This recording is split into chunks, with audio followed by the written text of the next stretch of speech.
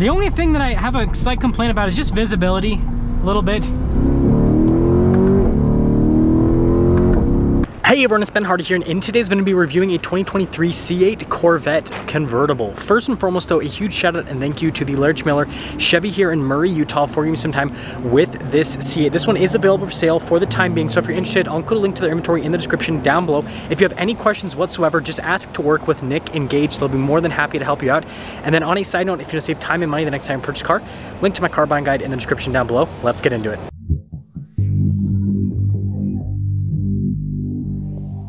Actually gonna start things off with the key fob. We got the Corvette logo there on the back. We have our unlock function, our lock function, the remote start function. And this is the opening for the trunk slash engine cover. And then this is the opening for the front. And then this is actually to lower down the convertible top with the key fob, just like what the Camaro has. Pretty cool functionality. But there's the key fob. Let's pop to the front. Now this is one of the cool things about the mid-engine design of the C8 Corvette is the fact that you actually get some storage here in the front, aka a frunk. There actually is an emergency button because apparently this is big enough to fit a person. And I mean, if I move this stuff out of the way, it's actually pretty dang uh, spacious here in the front. My favorite part though is like the hood design here where it's like sharp with the edges. I think that looks really neat, but cool practicality bit. Now let's go over the front end of this C8 convertible. So first off, you guys can see here with the headlights, we have the cool daytime running lights design with the LED headlamps. Just a huge fan of it overall. We've got the Corvette logo here front and center. And then I love all of the openings here on the bottom portion. And then notice that actually here in the center, a lot of it's closed off. You got the cameras there on the front end, which is cool. And then look how aggressive the front splitter is. And yeah, overall, I love the design of the new C8. I mean, it was obviously released for the 2020 model year, but still in 2023 model year, it, it looks great. Coming around the side here, our tire wheel setup is 245, 35, 19 in the front, and then 305, 30, 20 in the rear. So it is a slightly staggered setup. And then you guys can see this one has the all blacked out wheels. We do have the silver ring there on the outside, which I think looks pretty classy. Notice we have Z51 there on the caliper because this one does have the Z51 package, which is kind of like the performance package for the quote unquote base Stingray Corvette because we obviously now have the Z06. I love how it's molded here on the front. And by the way, I love this color. You guys can see it just absolutely sparkles. And then we got pretty aggressive side skirts here. Obviously we got the venting there on the side, which looks so, I mean, look how cool that is there. I love it. Mirrors are blacked out, roof is all blacked out, and so this has really cool contrast. And then you guys can see this got the low profile spoiler there on the back end, but there's the side. So we've got the key fob again because we're going to press this a couple times and pop the trunk. I forgot on the convertible that it's not technically an engine cover because, well, yeah, I got the convertible top action. So as you can see, we've got quite a bit of storage space here in the back, but it's not as, well, I mean, it's pretty close to as practical as the, uh, you know, coupe version, but not quite as much. And I will say it is a little bit sad that you can't uh, see the engine like in the coupe version. And by the way, this is soft close, so you just have to kind of like put it down and then just lightly kind of tap it in, then it'll do the rest of the work for yourself, uh, for you rather. And then you got the Stingray logo on this one. I mean, I guess you can kind of see through the venting here, but yeah, not a lot. Even though you guys can't see the engine, it's a naturally aspirated 6.2 liter V8 that goes through an 8-speed dual clutch automatic transmission, good for 495 horsepower and then 470 pound-feet of torque with the Z51 package. Now let's finish things up with the rest of the rear. So first off, I love the sequential kind of like turn signal on the C8. I've always been a fan of that. Now if I actually lock, well actually I can just unlock it and you guys can see the lights there because they'll pop on. Um, really cool with the taillights as well. Big fan of the design. Got a Corvette logo again. You'll see quite a few of those in the car. Parking sensors here on the back, and then I love the covers on the exhaust tips here. And obviously the new Z06 has the exhaust tips in the center, which is a little bit cooler, but I still think this looks really good. And there's the rear. Okay, let's see if my monkey brain can figure out this uh, top-down function. So we're gonna unlock it, and then we're going to hold down the top-down button. And you have to keep holding the button. It's cool to see the mechanism back there, by the way. Can't really see too much of the engine though, right? It's pretty cool function though. And the fact you can just do it with a key fob. That's fast. Honestly, that is really fast. And yeah, it looks really cool. I will say, uh, with the top off, because you have like these little pillar things, it looks really good. It has this kind of like cool sports car type design. Obviously, I mean, it's basically a supercar, but yeah, let me know what you guys think with the uh, top down. Let me know if you like the convertible look more, if you like the coupe look more. So here's our front door panel, by the way. This is a 2LT if you guys are wondering in terms of the material use and everything, but look at the red contrasted stitching. We've got padding all over and the stitching is even down here on the bottom. And I love the contrast with the red and the black on this particular one. And then we've got the memory seat function here, speaker for the high performance Bose sound system, or sorry, performance series rather. And then look at the carbon fiber trim on this one. I actually haven't seen that before with the C8. All of our window controls right here, door lock and unlock, and then the little opening for the door itself. And then you got the mechanism for the front and the trunk, Stingray logo. And then this one has the cool carbon fiber seats, so you can kind of see right there on the seat. But yeah, all red, and yeah, love, just love the look of it overall.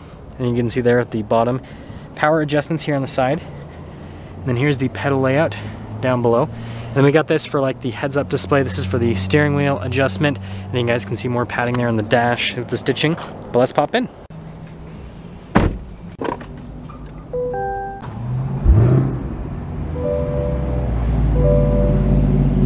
So the first thing we're gonna do is actually put the top back on. So we're just gonna hold this and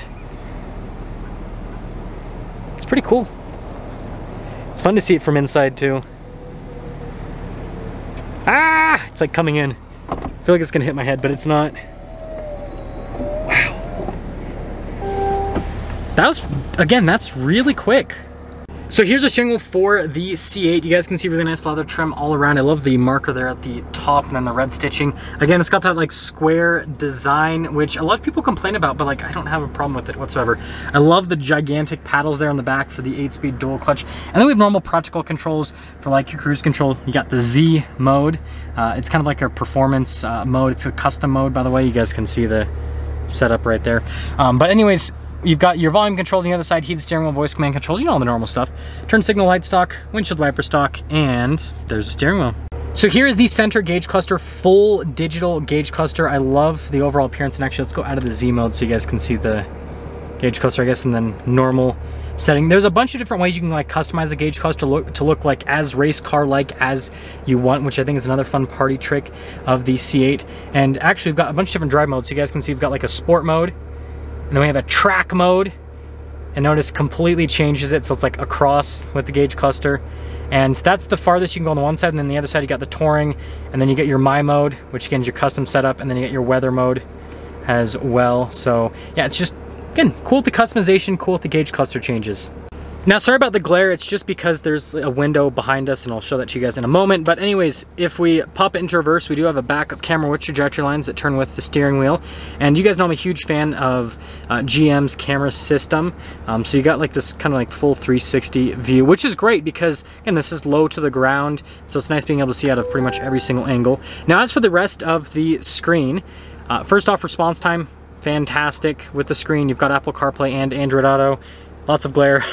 but uh, again, you guys know I'm a fan of this uh, particular infotainment system because it works great and I feel like it's the perfect size. We have our whole gear selection system right here so you can see a bunch of buttons and little tabs and everything. It's very interesting. Got your manual mode there. And then, as you can see, we've got this to pop up on the front camera. I like that they have like a shortcut button for that because again, that's the thing that's always the easiest to hit on cars like this. Front end lift and then stability control. And then this is the drive mode select right here. And you have like a wrist rest, I guess, to help you control the infotainment system if you want. And then again, I love the red here in the center.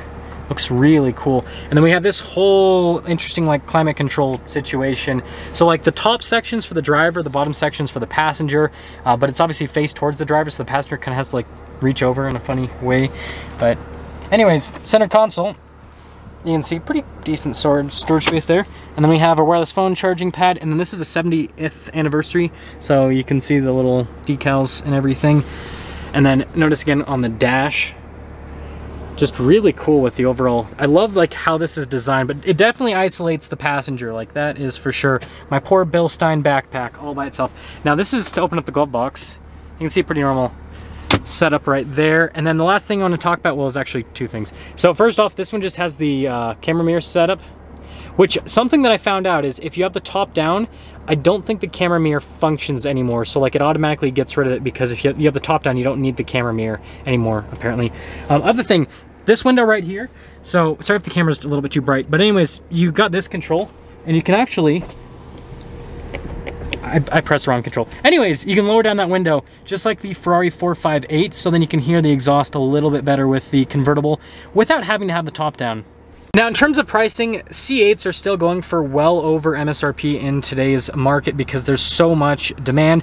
However, the Larry H. Miller Chevy here in Murray does not charge over MSRP for any of their new products. So if you want to order a new C8 or Camaro or any of the you know high demand Chevy product at MSRP, Larry H. Miller, Chevy Murray, again, Nick and Gage will be more than happy to help you out. Let's drive this thing.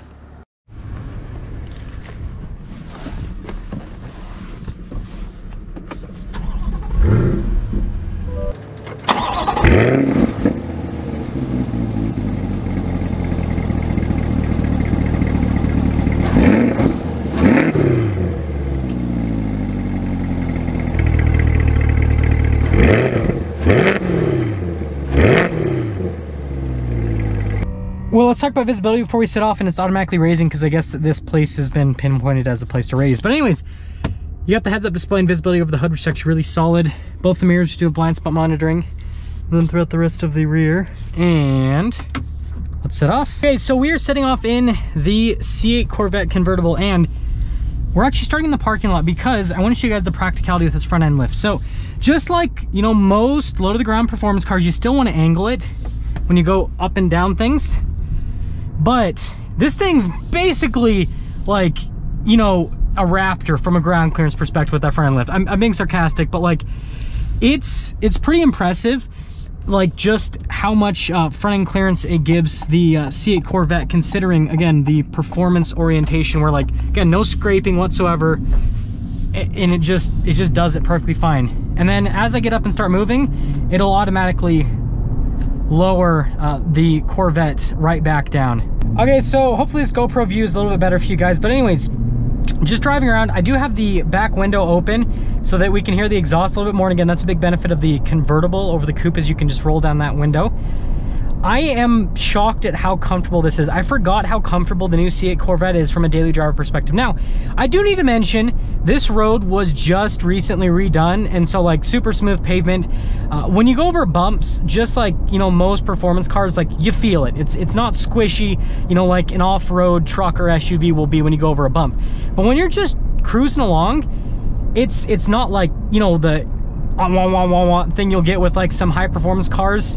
It, it's just smooth coasting. And the engine's pretty quiet. I've noticed that it does have cylinder deactivation. Yeah, V4. So it'll occasionally shut off half the cylinders to help you save on fuel. And yeah, this this is just like a, a good daily driver, frankly. So that's that's pretty impressive. So I've got it in the sport mode now and the sport mode really does transform the C8. So it opens up the exhaust valves, which I realized that during that exhaust revving clip I did, I don't think I opened up the valves at all for you guys. But anyways, it opens up the valves and then on top of opening up the valves, visibility by the way is, it's definitely supercar-like. at least it has blind spot monitoring. Um, but yeah, on top of like opening up the uh, valves, it, it just like, the shifts are a little more aggressive and it just, the car feels more aggressive overall. I also forgot with the C8 that they uh, it shows you where the red line is depending on how like uh, warm or cold the car is. That's another cool thing with it. I will say I'm also pretty impressed with like the overall road noise. I actually want to, um, well, we'll get our acceleration and then I'll roll up the window because I want to see how quiet it actually is. Yeah, this transmission is so responsive. I forgot about that. The only thing that I have a slight complaint about is just visibility a little bit.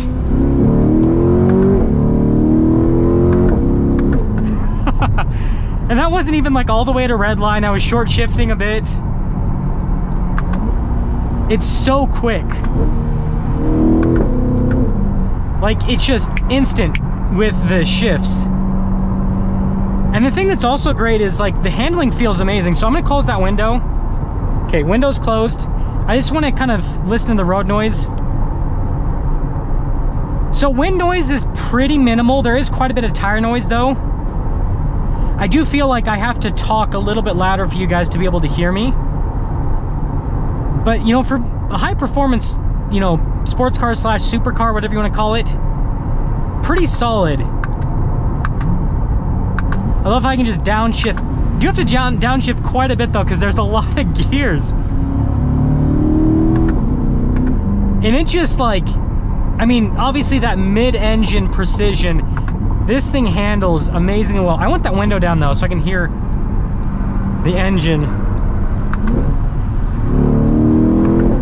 You, it's it's like a so like having the window up versus down. Like when it's when it's up, you can't hear the engine really all that much. Like you can kind of hear it, but not as much. But like with the window down, just like you you get like perfect access to the engine. I could see why a lot of people like the uh, convertible. Just, I mean, obviously, you know, the automatic top is nice. It's it's convenient, but just being able to like hear the engine just a little bit more, I, I think that makes it, I think that makes it worth it.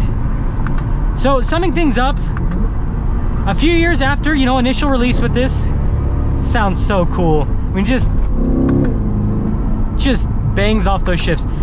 Um, the C8 Corvette is still an amazing vehicle. Let me see if I can put it back into, okay, there we go, automatic mode. I tried to pull the, uh, that the uh, shifter and see if that would do it, but it didn't do anything. Um, so I guess just hold down the plus pedal like most cars. Um, but yeah, even a few years after release, still sounds amazing. You know, it's it's a it's a big block V8, super comfortable, uh, super daily drivable, tons of fun. Um, I, guess the only downside to the C8 that I can see, honestly, is it's so good. It's so, like, the handling's so good. The uh, ride quality's so good. Like, it's so good at everything that it's it's kind of boring in a sense. Like it's so fun because of like how like fast you can drive and like how high the limits are. But like it's one of those things where it's like it's almost like playing a video game with the cheat codes on in a sense. And so it's gotta love that V8. So it, it is it is kind of like I don't know if I I, I think boring is probably the wrong term. It's just it's almost too good but yeah if you if you happen to be able to get one of these it's it's a blast and it's one of the few cars that has supercar I, i'm gonna call it supercar it's one of the few supercars that you could daily drive and it's a chevy so it's reliable let me know what you guys think. That's gonna sum things up with our video on this C8 Corvette. Again, a huge shout out and thank you to the Larry Miller Chevy here in Murray for giving me some time with this Corvette. Again, check out the inventory in the description down below. If you have any questions whatsoever, just ask to work with Nick and Gage. I'll see ya.